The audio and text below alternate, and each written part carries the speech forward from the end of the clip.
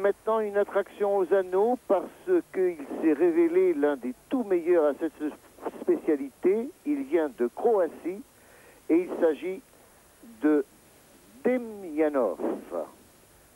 Je crois que nous allons assister là à un exceptionnel numéro de force, de puissance, avec une planche avant tendue, montée en équilibre, mais c'est surtout l'enchaînement des croix de fer qui vaut le détour.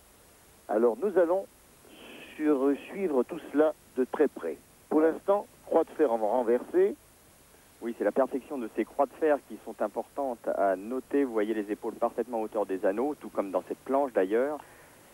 Et une originalité que l'on Ah. appelait Lazarian dans le temps, c'est-à-dire deux croix latérales remontées.